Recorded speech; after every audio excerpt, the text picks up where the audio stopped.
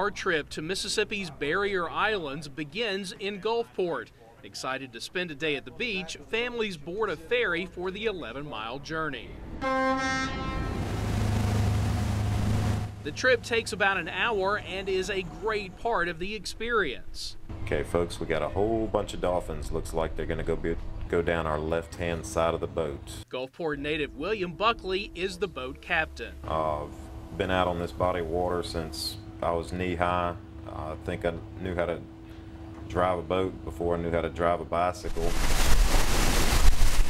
This body of water is the Mississippi Sound, and on today's crossing, we see lots of marine life. From pelicans looking for a meal to wild dolphins at play in the bright morning sun.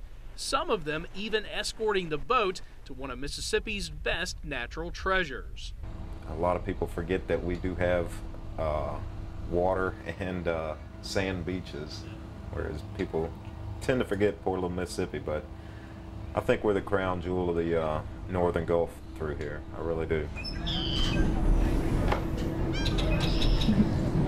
Arriving at the island, you soon realize why it's a special place. The water is crystal clear, the sandy white beaches are inviting, and as you stroll down a boardwalk across the half mile width of the island, you see wildlife everywhere. These students from Arkansas Tech are here to see migratory birds. He's coming out. We've seen uh, sanderlings, plovers, sandpipers, coots, uh, red-winged blackbirds, a lot of birds. it's really neat. I love it here. It's really, really good place. And it's a great place to enjoy the beach away from the clamor of the coast.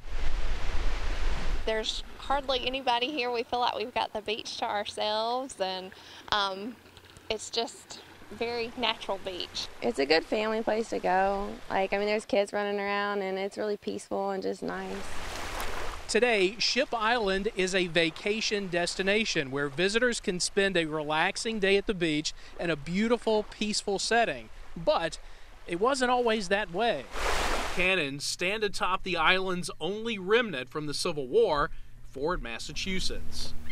A lot of people don't know it's out here, and they're very surprised at it. They're very intrigued about it. Close your eyes and think about it. a bunch of cannons going off over here. National Park Service Ranger Danny Underwood gives daily tours. We had Confederate soldiers from different battles that were out here.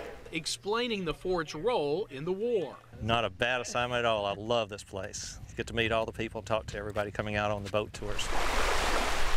All of the people on the island will leave before sunset, boarding the ferry for the return trip to Gulfport.